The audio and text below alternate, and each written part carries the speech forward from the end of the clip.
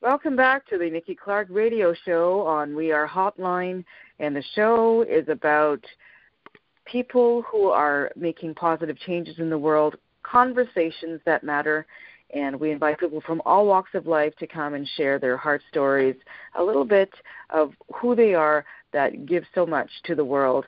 And uh, we have another individual just like that on the line with us today. She's a, a fantastic author, she's a speaker, she's a coach, trainer, and holistic nutritionist. Please welcome Jane Durst Pulkys to the show. How are you doing today, Jane? I'm doing great, Nikki. It's great to be on your show today. Thank you so much. Uh, appreciate you connecting with us. And um, yeah, I think let's just get right to it. So okay. tell me a little bit about who you are, Jane, and, and how your journey led to where you are right now. Um, okay, so I grew up in a family of nine children.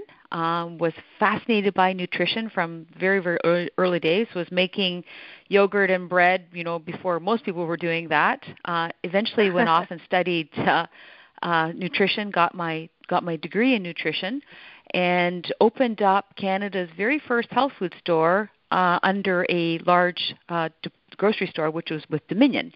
And so I set up three locations in the Toronto GTA area. It was fantastic. Um, and then I wow. decided to have three children. And after my and three boys, so it kept me quite quite busy. Um, and then I was looking for things to keep me busy, so I started a home uh, catering business, and I was working catering for uh, the Princess Margaret uh, Hospital. One of my friends was a brain surgeon there, so it ended up creating all kinds of opportunities for me. And then I went off and became a trainer for a company called Link to Life Seminars. I was teaching corporate CPR training courses and keeping my finger a little bit in the nutrition thing. But it wasn't until I turned 40 that I thought, you know what? Now it's time for me. The kids are gone. I want to make a huge difference in people's lives.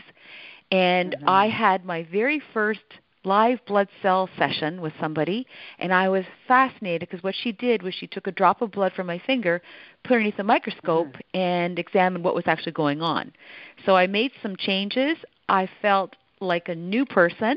I decided that's what I was going to do. I jumped on an airplane. I went to California. I took my course. I bought a microscope. I came home with the scope. I set up my practice. I set this. I just had a dream that this was going to be amazing. And then I went right. and uh, got a TV show with Breakfast Television and ended up doing mm-hmm. 20 more shows with them, which was amazing, amazing for business. Wow. I went I went back to school and I studied holistic nutrition at the Institute of Holistic Nutrition and ended up becoming a teacher there for several years. Um, mm-hmm. Did a lot of uh, corporate things. I worked for Dell Computers for many years. I was their in-house nutritionist. I ended up working in a uh, doctor's clinic. We had 12 medical practitioners there, or medical doctors, and myself. That was awesome for my my uh, my business. Then I started to incorporate all kinds of different modalities into my practice. Um, so I do something called uh, PSE testing, which is psychosomatic energetic medicine, which basically tests the energy of the person's bodies. And as I was doing all of this, I started to really become very clearly aware that people were coming for more than just nutrition. They really wanted to feel good inside and out. And I I came to the conclusion that a lot of people's health problems were stemming from low self-esteem, lack of self-love. And so I started to research this and I started to travel all across Canada, US and read mm-hmm. everything that I could read on it. And a, one day I was in a yoga class and I heard inwardly, you have to write a book on this. So the wow. reason I and so my book is called The Book on Confidence: How to Stand Tall on the Inside. And really why I really wrote that was, you know, growing up with eight brothers and sisters, I really did lack that confidence and I thought and believed it's my birthright to to be happy and to to, you know, go through life and, you know, achieve your dreams and have things, you know, come for you. But if we stand in our own way or we let our negative self-talk you know not allow us to do that then it's not going to then it won't happen. So i wrote half the book in cuba half the other book in dominican republic and came home and uh you know worked on it for one more year put it out there. So it's been incredible. Um i now currently most of my business now is with a um a, a product called metabolic balance. So we have in our world today so many people suffering from inf- inflammation and it's something called metabolic syndrome which is heart disease cardiovascular problems diabetes and blood lipid disorders.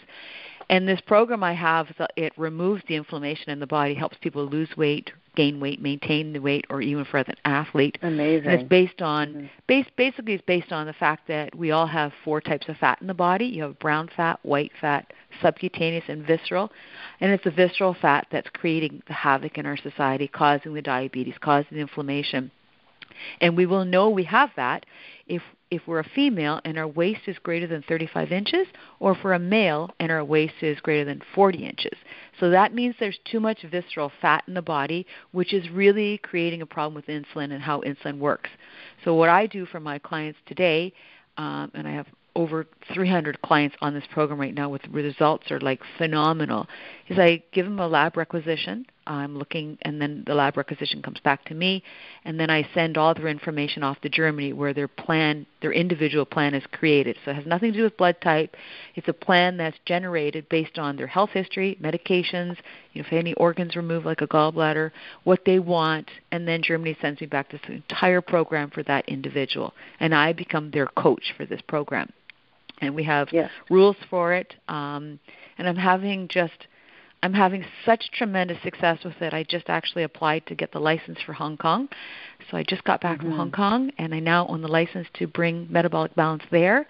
And um I love it. It's just it's been it's been every day is a new day, every day is a different opportunity for me and um right. I just love my job. It sounds like it. I can hear the passion in your voice, and um, it it really makes a difference when you're pursuing passion work, and yes. just it, it, there's so much fulfillment, and and people resonate with uh, with that, and they and they want to be around you. They want to embrace whatever you have to offer the world. So mm-hmm. it, it's a beautiful thing how this all evolved, and I like especially how um, you know in the later years. And people say well you peak in your early years you know between 20 and and and that time uh 20 and 30 or something. That that should be the time where you've kind of accomplished everything. I like how you made it really clear that in your 40s you know after yeah. your family settled that this is when you're going to start again. And i think that's an important message uh for people to know that there's there's always uh it's never too late to start again no, you know what I mean? No. I hear people, you know, make that excuse. Well, you know, I'm too old. I, I, I'll, I, you know, I, I had a dream, but I'm not going to pursue it because, you know, I'm, I'm 39 or I'm 42, and that's not true. Right. And, uh, they, I, and I like think how people you settle, right? Yeah, they settle. And they you know, I mean the, the the world is our oyster and here's the neat thing. I'm going to be 59 this year. I feel like a 20-year-old. I have so much energy. I feel like I barely even started and mm-hmm. I am excited about the future and I'm one of these people that believe that you have to continually reinvent yourself every day and you have to continually grow and learn because that's where that's where all the magic is is when you start to you know explore. And um you know the other thing for me because i'm older i never even you know i never even think about you know if if you're younger you'd be more successful. I think you're absolutely true that you know the the older you get the more wise you become the better you're going to become and help other people. Um yeah, I really truly feel like I've just scratched the surface, and yet there's just so much more out there for all of us to to go to go grab. It's it's right there for us. Absolutely, absolutely. And just out of curiosity, where did you place in the line of your brothers and sisters? Were you the oldest in the middle? I was the, the baby? I was the fourth the fourth child and the second girl. Second girl. Okay, so in the middle mm-hmm. somewhere. Yeah. Awesome. Um, so how um, has your life been transformed by by making this decision to follow through with this journey and just um, just pursue this this passion? How um, how have you evolved from your very beginning, your thought process of how you're going to do this? I have become the most transformation I've seen is an incredible gratitude for being of service to other people. I love to watch the transformation. Their journey becomes my journey. Their, I celebrate their successes. So I have become extremely grateful for everything. I have become more energized by life. Um, I have become more inquisitive and curious as to, you know, what can I can I bring people? So I'm always doing these little videos that I'm posting. I'm always trying to uh, really enhance. It's allowed me to to consciously try to enhance people's lives every single day by bringing them something that can change their life. Um, it's it's really helped my family because it's brought me more joy. Um, mm-hmm. I'm just uh, I'm happier because of it, for sure, happier and feel Absolutely. amazing because of it.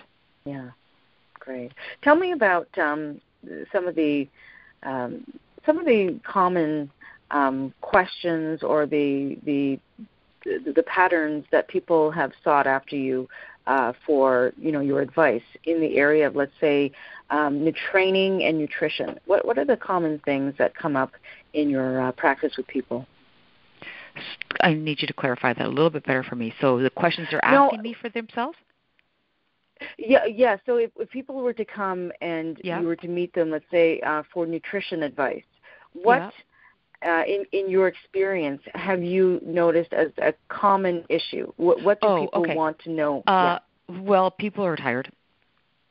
Uh, mm-hmm. People are extremely stressed people mm-hmm. are trying to eat healthy and be healthy and and they don't know quite how to go about that um and they're looking for nagging you know they're trying to figure out what's causing these nagging problems. Uh, and the way i go about this is when they come in i ask them you know how do you feel from 1 to 10 what's your stress levels from 1 to 10 what do you want? Like why did you really come here? And it's interesting because people want health, they want joy, they want vitality.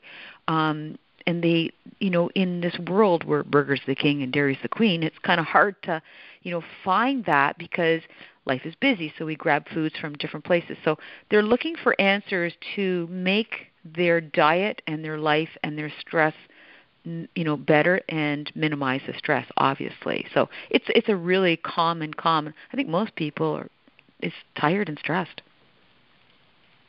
Gotcha. Okay. Yeah, we live in a fast-paced world, so that would be yeah.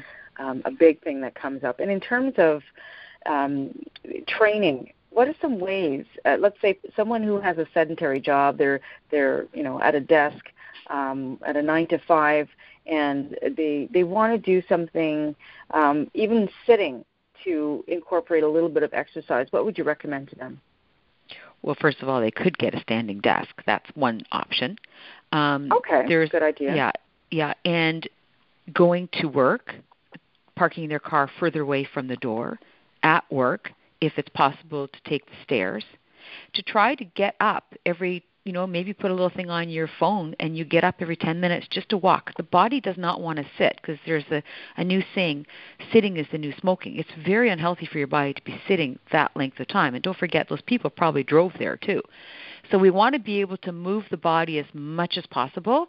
Um, I remember hearing once you're supposed to move your body every eight minutes. If even if it just stand up, sit down, go to the bathroom, get yourself in the habit of drinking lots of water, where you have to physically get up and go. Um, but like all of us, sometimes we get stuck back there, you know, behind that desk, and you can't you can't get up. So I mm-hmm. am a big advocate of exercise. I believe that we should be all walking at minimum 10,000 steps a day, and so even in the morning, if they could possibly go for a walk in the morning or a workout at nighttime, uh, anything that's going to you know get them up. But the standing desk are really really becoming much more popular, um, and I prefer to stand too. I don't have a standing desk because I'm up and down all the time, um, mm-hmm. but uh, I think that if we could just be more conscious of getting up and moving more often and not sitting behind that computer for you know too long of a period of time. Okay, excellent. All right. Well, we've learned a great deal from you. And do you have anything that's coming up? Any pro, any um, projects or any workshops that uh, we should know about? Um, well, I am going to be doing a, um, a health boot camp in September, and I will be putting mm-hmm. that posting on my website probably in July. So it's a it's a full day seminar um, and mm-hmm. it incorporates everything from you know that all I'm talking about. So it's uh, it's a great workshop, and people walk away, and they also get a free book when they come to that too. Excellent, excellent. Now, what word of advice would you give to someone who is just uh, they're on the verge of something, they're sitting on the fence, but they just can't overcome that fear? What what advice would you give them to take that leap of faith um, about venturing on and, and following their passion work? What would you say to them in a few words? I'd say take the leap and the net will appear. Just what are you waiting for? you know you just go for it i mean there are there is no mistakes in life just lessons so just just do it don't let anybody sabotage your dreams because you know i mm. love one of my favorite authors is robin sharma he says that everybody's here for a purpose we all have a purpose so you know mm-hmm. just go for it just exactly. just do it make a date and decide when you're going to do that and that's what i did with my business once i took the course i decided i was going to open up on january the first and even if I wasn't ready, I was going to do it, and I wasn't ready, but I still opened and it worked. So, yeah, just uh, just do it. just do it. I love it. All right. Thank you so much, Jane. It's You're um, welcome. It's been a pleasure. Uh, you've you've got a, a, wealth of information that people really need to tap into. So tell us yeah. where can people find you? They can get me uh, at my website, which is www.creativehealth.ca and they can email me at jane at creativehealth.ca. And if they want to give me a phone call, they can call me anytime, 416 529 6326. Awesome. And we look forward to having you on the Nikki Clarke Show stage. Uh, I know people are just going to uh, gravitate to your um, your great energy. And by the way, I, I I've seen a picture of you. I haven't met you face to face yet, but you look fantastic. Thank you. You look absolutely stunning. You don't look anywhere near your chronological years. So, um, you know, uh, you gotta you gotta give us some tips on what you do to keep. Well, I will so, give you lots of tips and, that day. Okay, awesome, awesome. Thank you so much. It's You're been welcome. a pleasure, Jane. Um, we're we're um, looking forward to seeing you soon. And you've been listening to the Nikki Clarke Radio Show on We Are Hotline. If you missed the earlier part of the interview, you don't have to worry. We're going to be replaying it throughout the week, Monday to Friday, 11 a.m. to noon, and uh, you are. Um, so blessed to uh, to you know tune in today and, and hear this uh, fantastic um, information from uh, Jane, um, Jane Durst Pulkys. I hope I got that correct. Yes, uh, and uh, we'll be seeing her very, very soon. So, Jane, have a wonderful day, and we'll catch up soon. Thanks again. Okay, thanks a lot, Nikki. Take care. Bye bye. You're welcome. Bye bye.